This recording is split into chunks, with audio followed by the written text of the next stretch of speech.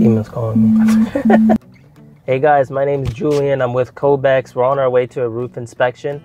The customer gave us a call, said they were having issues with the roof and they need a full replacement. So we're on our way there to take a look at the problem, get them taken care of here before the rainy season comes.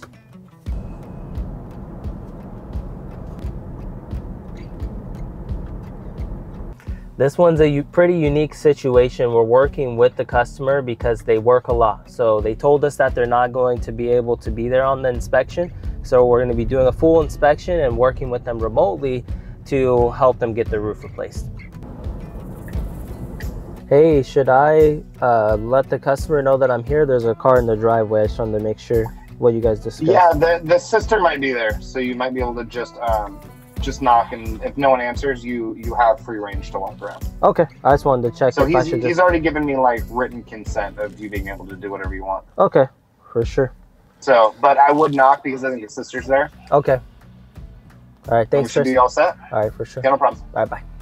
All right, guys, we just made it. So we're gonna get started. Let the customer know that we're here. There may be a family member, so we just want to at least let them know for courtesy that we're gonna be starting our inspection. All right guys, so the customer gave us free reins to go ahead and start the inspection. So what I usually start with is taking pictures of everything for our production team so that we don't miss anything. And then after that, we get on the roof after we do a walk around. So right now I'm checking in the eaves to just make sure there's no dry rot visible in the eaves. The 2x4s are the rafters. Uh, they also have some shiplap tongue and groove that I'm inspecting to make sure there's no damage as well. At this point, I'm usually looking at the gutters. It does look like there have been some repairs there. Um, and then checking the fascia boards behind the gutters as well. We're gonna go ahead and go into the backyard. Patio covers like this that don't require roofing are always documented. We take pictures as well to make sure that our team knows that we're not gonna be doing any roofing here. At this time, I'm also usually inspecting the roof to make sure it's safe to walk on from the ground if I'm seeing anything visually. I do see some areas where the roof's uh, lifting. Um, there's already some problems that I'm seeing, so I already know what to expect when I get up there. We'll talk about it when we get up there. Some intake vents. It's doing well as far as visual dry rot goes. Take some more pictures. Now we'll get on the roof. Rule number one, don't fall. so finding a place to put the ladder is key. And Cobex, we don't ever want to damage your gutter. So if there's somewhere safe to get on the roof where we don't need to uh, put the ladder against the gutter, we will use somewhere else here. There is wood with flashing over that it's safe for us to put the ladder up and get up that way. I'm also picking this location to measure the roof pitch as well to make sure before I get up what how steep the roof is so that we can take note of that. There, we always take pictures of where we're putting the ladder to make sure we don't cause any damage. This is the point where we take out our pitch factor app and we're gonna measure the roof pitch. This one's right at a 3 and 12, so that means it will require double underlayment um, to pass code. This portion, it looks like it's the porch. The other portion of the roof is right at 5 and 12 maybe four and a half. So anything above four and 12 doesn't mean need any double underlayment or anything to pass code. So we'll go ahead and get on the roof and inspect and see what we have going on, see what problems we can find. So on this roof, from this location, because the drip edge flashing is on top of the shingles, I'm not able to see how many layers are here. So I will be putting the ladder up against the gutters later on to check how many layers are on the roof. That's usually the first thing that I would check. Um, but this is something we should talk about. The drip edge flashing is installed on top of the shingles. Now in code that doesn't pass code, we do install drip edge around the entire home. And currently, like I said, the drip edge flashing is on top and it should be the, one of the first things put on before the shingles. We also see some missing shingles already, so we can tell maybe they've had some missing shingles due to the storm. Um, right away, I'm seeing some fiberglass showing through. If you have a shiny roof, that's one of those way, ways that you know your roof is starting to deteriorate. You're having a lot of the granule loss. So there is a bit more here as well. And that may be due to the slope being uh, lower. So you may have water sitting longer. The, the shingles are gonna deteriorate faster. So Um, another thing I'm noticing right away is there's been a repair there. There's some, some uh, probably a roof coating or something that was put on. So this is probably a problem area that once I get off the roof, I'm gonna go and make sure I don't see any dry rot or damage underneath here as well. So it looks like the missing shingles came from here. Uh, pretty easy to spot. It does look like there have been some repairs around this area at some point.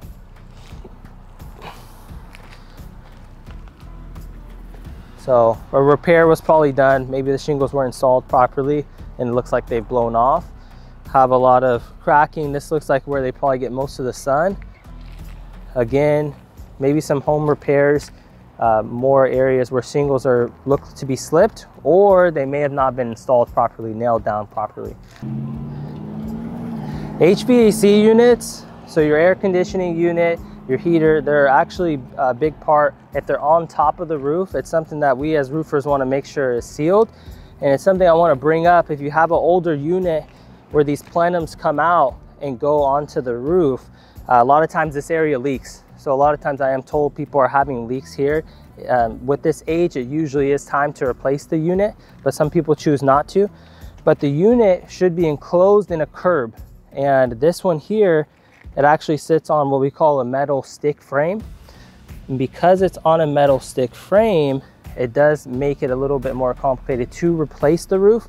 We will still deal with it, but again, with this unit and its age, where you can see they've sealed around the unit to actually try to keep leaks from happening. Maybe they've had them previously, but a lot of times you'll see a lot of sealant um, that was put down. And from what I'm seeing, it would be recommended to replace it because again, they usually leak from these plenums that come out. Newer units, everything is enclosed and it has a curb flashing that everything sits within. These don't have a curb flashing, so they usually leak. Satellite dishes are also a big one. Um, with satellite dishes, you could imagine they provide the customer with entertainment. If they're using them, we always ask so that we know to help them get it replaced. If they're not, we can easily dispose of them. So we make sure to document that and ask the customer about that as well. So gutter conditions a big one that we try to look out for because if you look, the gutters, you can tell they're rusting from inside. So we make sure to take pictures of that to bring it up to say, hey, um, when you're replacing the roof, it is the best time to do the gutters in case it's something they weren't thinking to do at the moment.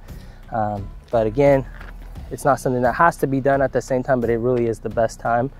Um, there's an area I was gonna bring up here where you can tell the shingles are really starting to lose all of its granules.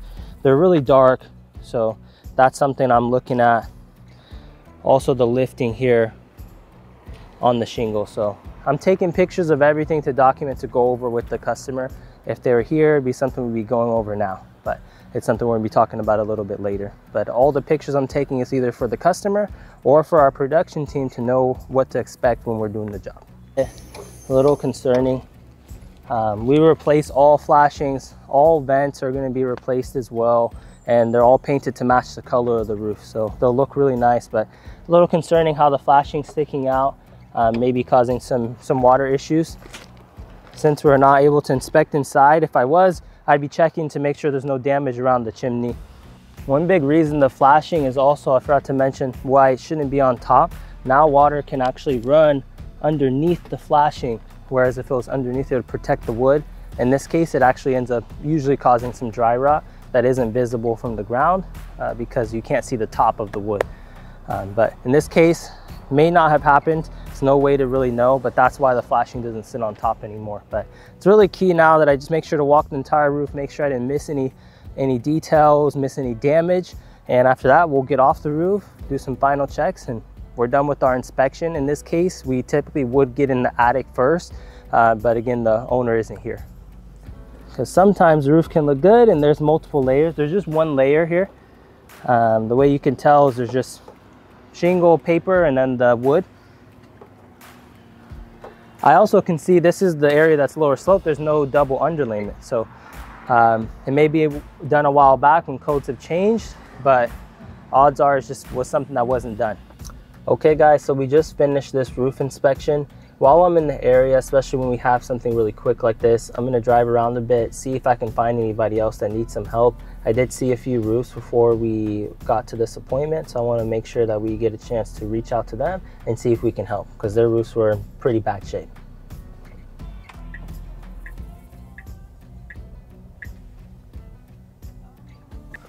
I'm actually to try to talk to this customer real quick or this potential client. Hi, my name is Julian. I'm with Cobex. We are just giving an inspection on Renda Drive with another one of your neighbors, just right there at the corner facing the high school. I just want to introduce myself. See, are, are you the homeowner by any chance? Yeah? Okay. I just wanted to check in with you. They had some shingles that blew off. And have you had any? uh, What's been your experience with the storms and whatnot? Yes, we have had some. Yeah, okay.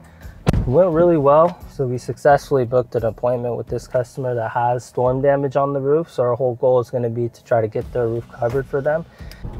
All right, guys, to recap, we did a, full inspection for a customer that we're going to be working with remotely. And then we actually knocked on a few neighbors' doors and we booked one appointment for a Wednesday. So in two days, the customer really needs our help. They have a few shingles or a few areas in the house that are missing shingles due to the storms. So we're going to be helping them to work with their insurance to get the roof covered. So that appointment's in a few days. One of the customers that we spoke to, they couldn't do the roof until spring. They weren't open to us doing the roof now.